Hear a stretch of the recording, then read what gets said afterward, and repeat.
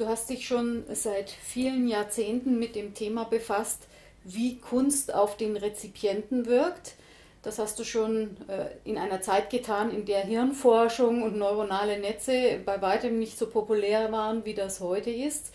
Du hast in dieser Kunsttheorie äh, dich sehr intensiv mit der Frage befasst, wie Kunst auf den Empfänger wirkt und dafür auch ein Modell entwickelt. Kannst du uns einen kurzen Überblick darüber geben, was die wesentlichen Elemente dieses Modells sind? Es fällt natürlich auf, dass sich Kunst in sehr verschiedener Weise äußern kann. Wir haben eine Kunst, die über Bilder funktioniert, eine über Töne, Literatur, moderne Kunst, Film, Theater und so weiter. Und ich habe äh, mir überlegt, was eigentlich das Gemeinsame ist all dieser Begriffe und bin draufgekommen, was ja nicht ganz so schwer ist, äh, dass es alle Künste mit Angeboten zur Wahrnehmung zu tun haben. Wir wollen etwas über das Modell reden, über das sozusagen Prozessmodell, das äh, hinter der Kunstwahrnehmung steht, im Grunde natürlich auch äh, für andere Arten der Wahrnehmung gilt, weil Kunst für dich ja nichts Außergewöhnliches in dem Sinn ist, sondern ein Wahrnehmungsangebot, wenn auch ein von einem Künstler bewusst gestaltetes Wahrnehmungsangebot, wie vieles andere auch, was wir wahrnehmen in unserer Umwelt. Also der Künstler bringt ein Objekt hervor, oder es kann auch eine Erscheinung wie Musik oder eine Dichtung oder so etwas sein, äh, das, mit dem er, er sich an andere wendet. Und die lösen dann die schon erwähnten Wahrnehmungsprozesse aus. Und diejenigen erscheinen uns besonders interessant, die etwas komplizierter sind, nicht selbstverständlich gleich die Lösung präsentieren, sondern wo man also erst suchen muss nach dem Sinn des Ganzen. Und äh, da steckt eigentlich auch schon die Forderung an den Künstler drin. Und äh, jetzt könnte ich natürlich die Frage anschließen, was muss denn der Künstler tun, um das zu erreichen? Und was tut er, wenn ich diese Frage einwerfen darf? Ja, das Einfachste, aber nicht das Wirkungsvollste ist, dass er die Sache einfach komplizierter macht. Also wenn er also irgendeine Landschaft macht, dann ist es ganz nett, aber vielleicht ein bisschen langweilig. Es kann aber was Interessantes in diese Landschaft stellen. Vielleicht eine Gruppe von Menschen, die bei der Wanderung sind. Es ist vielleicht immer noch zu langweilig. Vielleicht sind diese Menschen in einem Streit begriffen und dann wird es natürlich interessant, weil man dann überlegt, ja, worüber streiten die, und so kann man das beliebig ausweiten.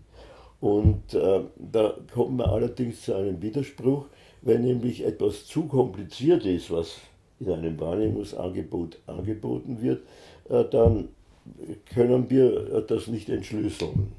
Das, das führt, überfordert. Das überfordert, das führt zu einer negativen Emotion, Irritation, Abwehr. Und da stellt sich die Frage, äh, kann ich die beliebig äh, verteilen durch Gegenstände, durch Farben, durch Formen, die in diesem Bild äh, vorkommen, oder gibt es da irgendwo eine Grenze und da gibt es tatsächlich eine Grenze. Ich kann ein Bild so kompliziert machen, dass es eben nicht mehr wirkt, nicht mehr erfreulich wirkt, sondern zum Abwenden führt.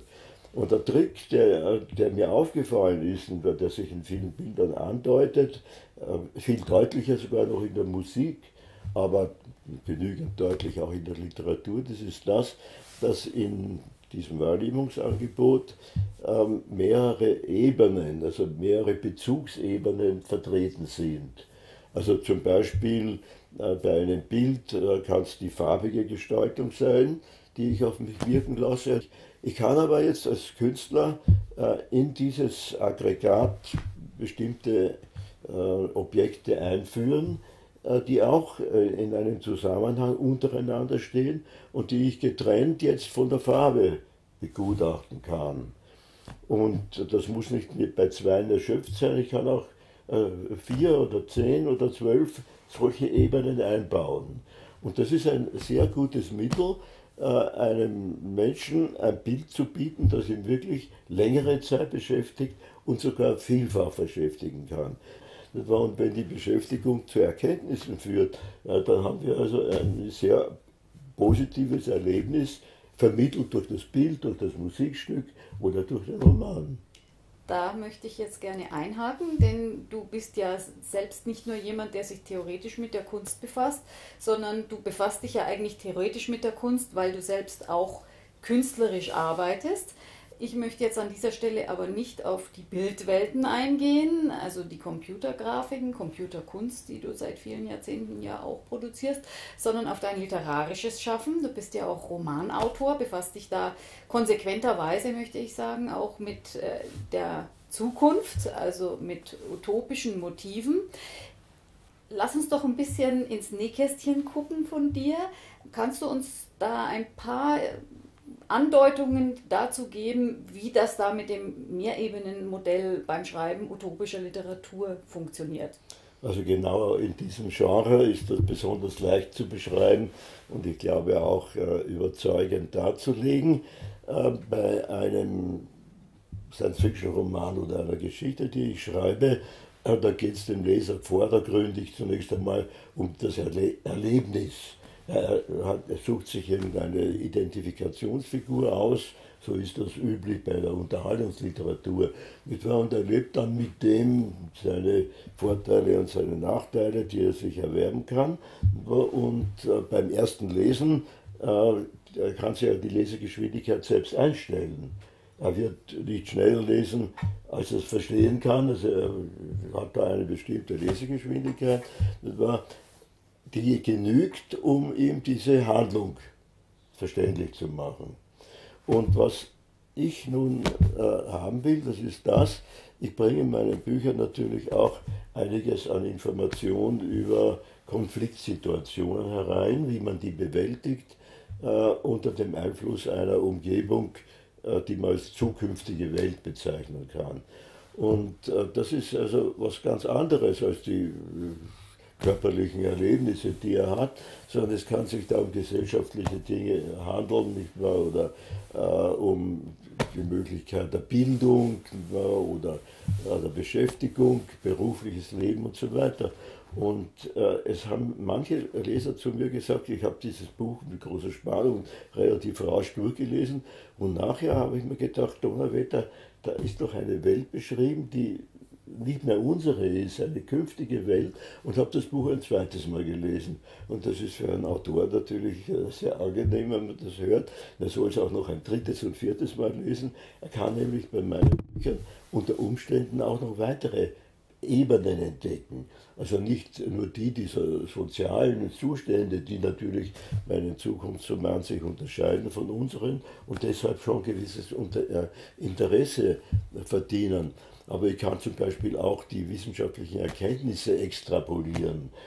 Noch viel interessanter äh, natürlich die äh, Robotik, die ja heute recht aktuell ist. Nicht weiß, wie weit kann das gehen, können die intelligent werden. Und da steckt eine ganze Menge von Problemen drin zum Fragen. Also der wissenschaftlich-technische Komplex, genau sich das. der weiterentwickelt. Und auf einmal kann sich einer sagen, weil jetzt äh, bin ich doch auch interessiert daran, wie ist das mit den Automaten? Wir sind heute schon ein bisschen weiter als vor zehn Jahren. Aber der Franke, der hat doch da etwas geschrieben, was in 50 Jahren spielt. Schaue ich mir mal an und dann liest er das Buch ein drittes Mal. Es kann zum Beispiel dann eine weitere Ebene interessant sein, wenn man nämlich eine ja, künstlerisch interessante Sprache verwendet. Also wie ich etwas darstelle, wie ich die Personen beschreibe, wie ich den Leser teilnehmen lasse an dessen Abenteuern. Aber das ist dann schon etwas, was künstlerische äh, Fertigkeiten erfordert.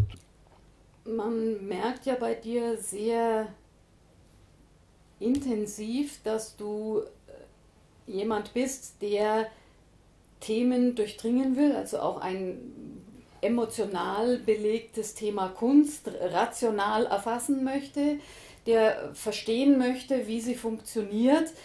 Funktion hat dann im Spiegelbild auch mit Konstruktion zu tun, wie man sie konstruieren kann. Ein Buch von dir heißt ja auch Kunst und Konstruktion da sind wir jetzt dann schon äh, an einem Punkt, der ja auch in deinen Romanen immer wieder äh, aufgegriffen wird. Robotik, du hast das Stichwort schon genannt. Kunstmaschine. Wenn du jetzt äh, dein theoretisches Modell zugrunde legst, äh, glaubst du, dass man künftig Robotern die Gabe geben kann, Kunst zu produzieren? Was ist dafür nötig und ähm, was macht der Künstler dann? Ist der Roboter der bessere Künstler am Ende, weil er die Wünsche des Publikums besser erfüllen kann? Ja, also das äh, Thema Maschine und Kunst ist natürlich hochinteressant, aber ich möchte doch bemerken, dass wir eine ganze Menge Maschinen in der Kunst verwenden, nämlich in der Musik. Und das sind physikalische Präzisionsmaschinen. Aber man kann natürlich jetzt sagen, wie wäre es denn, wenn ich ein solches Ausgabegerät, das gibt Töne aus, wenn ich das äh, kombiniere mit künstlicher Intelligenz. Also nehmen wir mal an, wir hätten schon Schaltungen, die also als intelligent gelten können. Wenn als solche Schaltungen verfügbar sind, warum soll ich äh, dieses Kombinat, diese Kombination aus äh, äh, Gehirn oder künstlicher Intelligenz und dem Ausgabegerät äh, nicht Kunst erzeugen lassen? Wenn ich die Regeln kenne, denen der Aufbau eines Kunstwerks folgt, äh, kann ich das programmieren und dann ist das möglich. Unterstellen wir mal, man hätte vor 100 Jahren schon Computer gehabt, die Musik machen können. Dann würden wir heute noch Walzer hören von Johann Strauss aus der Maschine. Was ist nötig, um die Kunst weiterzuentwickeln? Nein, man muss die Regeln ändern. Und wenn man äh, mit äh, der zunehmenden äh, Bildung der Schicht, die diese Musik hören will, wenn man die berücksichtigt, dann ähm, kann man zum Beispiel äh, gewisse Tonfolgen komplizierter machen oder eine andere Art von Rhythmus einführen. Diese, äh, eine Intelligenz ist ja nicht etwas Unverändertes, das seit dem vorigen Jahrhundert unverändert bleibt. Da kann man ja etwas ändern dran. Wenn du davon sprichst, dass äh, man die Regeln der Kunst ändern muss, Frage, glaubst du, dass die Kunst, wie sie sich entwickelt hat, durch Veränderungen von Regeln eigentlich zwangsläufig ist oder sich auch hätte ganz anders entwickeln können? Ja, ganz anders nicht.